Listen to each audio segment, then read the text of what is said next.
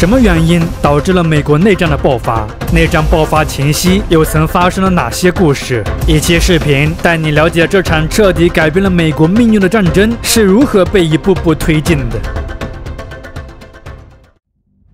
自美国建国起，奴隶制的问题一直都是一个非常棘手的问题。在美国的版图还未迅速扩大以前，自由阵营与蓄奴阵营间的较量虽整体还算是保持了一种均衡态势，但美国一些敏感的政治家们还是察觉到了奴隶制问题所隐藏的政治风险。比如，作为美国开国元勋之一的托马斯·杰斐逊就曾担忧地说道：“奴隶制的问题犹如黑夜里的火灾警钟一般，令人充满恐惧。它可能会是敲响铃般的丧钟。”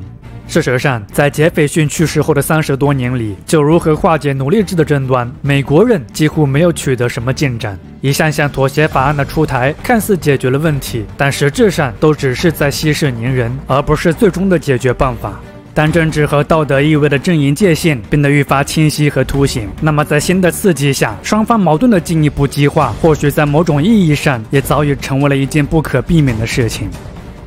十九世纪中叶，随着美国国家版图的迅速西扩，为加强东西部的联系，修建一条横贯大陆铁路的想法开始受到美国民众的广泛支持。不过，至于把铁路修建在哪里，尤其是把东部终点设在哪里，美国人却有很多争论。北方人希望把东部站点设在发展迅速的大城市芝加哥，而南方人则希望把站点设在圣路易斯或是新奥尔良等地。总之，在奴隶制问题悬而未决的大背景下，修建跨大陆铁路的问题成为了南北较量中的一部分。一八五四年，来自伊利诺伊州的民主党联邦参议员史蒂芬·阿诺·道格拉斯，为了把跨大陆铁路修到自己的家乡，提出了一份议案，即在爱荷华州和密苏里州西部建立一个新的州来解决争执。由于担心这个新建州会因位于密苏里妥协中规定禁止蓄奴的三十六点五度以北而遭到南方议员的反对，道格拉斯还特别在议案中增加了条款，让新建州有权自行决定是否实行奴隶制。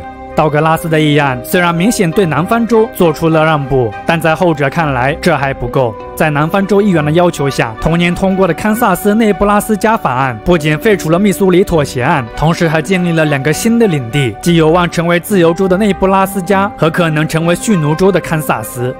堪萨斯内布拉斯加法案的出现，给当时美国的局势带来了非常直接的影响。围绕法案的争论，辉格党迅速分裂和没落了。事实上，在此前的一八五零年妥协案中，一些辉格党人就因为本党在奴隶制问题上的含糊其辞而愤然离去，由此使得民主党的弗朗克林·皮尔斯赢得了一八五二年的大选。而在一八五四年的堪萨斯内布拉斯加法案中，对该法案表示强烈反对的北方辉格党人更是进一步纷纷脱党。随后，他们与一些反对奴隶制进一步扩大的民主党人组建了一个在政治线条极具地区象征的新政党。这个新政党为了向杰斐逊的民主共和党表示致敬，自称为共和党。共和党的出现也标志着美国政治开启了第三政党体系。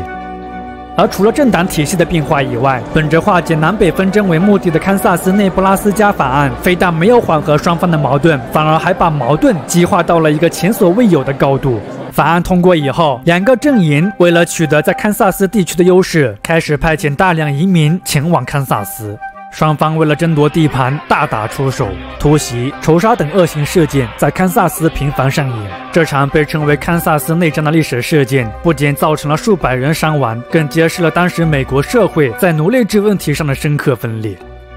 美国南北尖锐对立的背后，虽然有很多且复杂的原因，包括社会形态的差异、思想观念的不同等等，但总的来说，奴隶制的问题仍旧是绝对的核心原因。那么就这个原因来说，其背后又映射了怎样的巨大矛盾呢？真的仅仅只是一场围绕黑人自由权益而兴起的争斗吗？真实答案或许是令人失望的。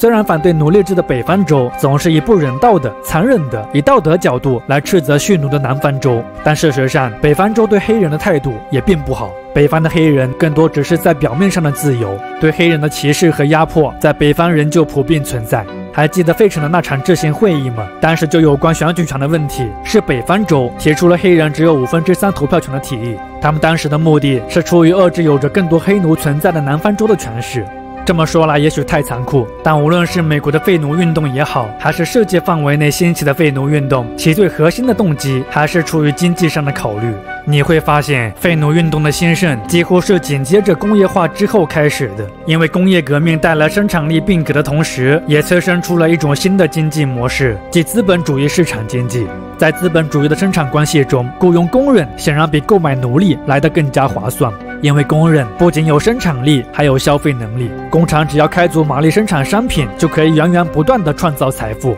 而奴隶作为一个纯粹的劳动力，它对比大机器生产，不仅生产效率低下，对经济的助力更是无从谈起。所以，北方州执意废奴，最核心的目的是想要扩大国内的劳动力市场和消费市场。但就南方蓄奴州而言，以棉花种植业为主的南方经济高度依赖黑奴所提供的廉价劳动力，奴隶制已经与南方社会深刻的交织在了一起。此外，在南方人看来，北方浓烟滚滚、乌烟瘴气的工业化社会，远比不上以奴隶制为基础、充满祥和和有序的南方社会。或许工业化是历史趋势，但至少就当下而言，南方人还是不愿承受取消奴隶制所蕴含的风险。毕竟，他们现有的财富和社会地位就依托于奴隶制的存续。而至于奴隶权益的问题，南方的奴隶主们通常自认为是黑奴的家长，而不是施暴者。他们认为自己给黑奴的待遇，可要比北方工厂主给工人的待遇要好得多。南方人只觉得北方人以道德的口号来废除奴隶制，实在太过虚伪。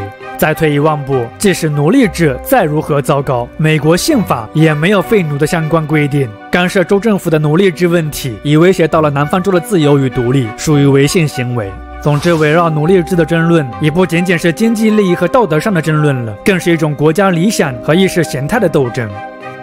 一八五六年总统大选在不安的气氛中开启，随后没有过度参与到地区利益纷争的民主党候选人詹姆斯·布坎南赢得了大选。布坎南就职总统时已经六十五岁高龄了，不知道是身体原因还是性格问题，谨慎和犹豫的布坎南在很多关键问题上都没有发挥出重要作用。布坎南政府不仅在当时的经济萧条中毫无作为，在化解南北矛盾的问题上也没有太多建树。在美国开始急速坠入混乱的状态下，他们又在一八六零年迎来了其历史上形势最复杂的一次总统大选。这届大选中，民主党因奴隶制问题产生了分裂，在总统候选人问题上的意见不合，给到了一位口才出众、名声远扬的共和党候选人赢得大选的机会。这个男人叫做亚伯拉罕·林肯。林肯在蓄奴州和自由州都生活过，他还参与过美国与印第安人爆发的黑烟战争。结束了军旅生涯以后，经过一些波折，这个跟晾衣架一样的高个子开启了自己的从政之路。从政以后的林肯，因主张扩大所有白人男性的投票权，反对蓄奴制，以自由土壤之名扬名美国政界。在蓄奴州的所见所闻，让林肯非常了解奴隶制的黑暗和可怕之处。他认为奴隶制与文明社会格格不入，但作为一个现实的政治家，他也深知改变一个根深蒂固的制度难度有多大。所以，林肯成为了一个温和派的废奴主义者。一八五六年，鉴于辉格党内部的巨大分裂，林肯脱离了辉格党，加入到了新组建的共和党当中，并很快的成为了这个党派中的重要人物。在一八五八年伊利诺伊州参议员竞选过程中，林肯与民主党的史蒂芬·阿诺·道格拉斯间的七场辩论是美国历史上最著名的辩论之一。这场有关奴隶制的辩论在当时吸引了大量观众。辩论的结果虽然是以道格拉斯获胜而告终，但林肯也因这场辩论成为了全国的风云人物，这也为他后来参加1860年的总统大选奠定了基础。而虽然林肯在上台前承诺只会阻止奴隶制在新的领地扩张，并不会取消现有州已实行的奴隶制度，同时保障奴隶主权益的逃奴法也会被继续执行，但即便如此，蓄奴州对林肯和共和党人的顾虑和敌意仍旧没能被消除。在林肯正式上台前，1860年，南卡罗来纳州宣布脱离联邦。次年二月，密西西比州、佛罗里达州、乔治亚州、路易斯安那州、阿拉巴马州以及德克萨斯州也纷纷宣布脱离联邦。随后，七个州的代表齐聚阿拉巴马州的蒙哥马利，成立了自己的共和国，视为美利坚邦邻国。杰斐逊·戴维斯被推选为邦联的临时总统。联邦政府自然是拒绝承认邦联的合法性的。于是双方开始进行妥协。南方州为了挽回局势，建议在宪法中增加一条修正案，即永久限制宪法对奴隶制的权利。但这种不能解决任何现实问题，同时又束缚联邦政府手脚的方案，北方州显然是没法接受的。由此，事态开始朝着最糟糕的方向发展。随后的几个月，南方开始操练邦联新兵，意识到情况愈发不对劲的北方，于是也开始采取一些反制措施，为一场预期在四个月左右的战争做准备。但事后证明，自认为悲观的联邦政府还是太过乐观了。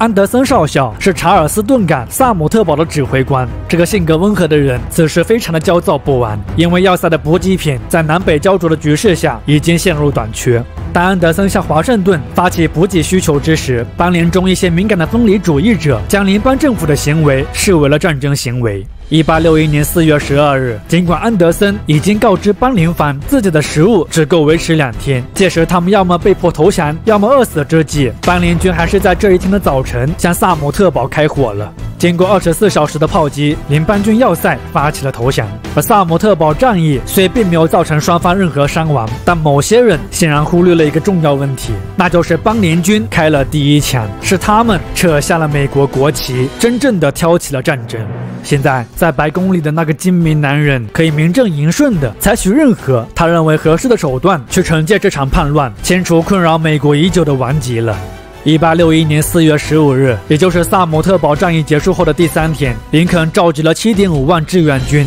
向着南方出发了。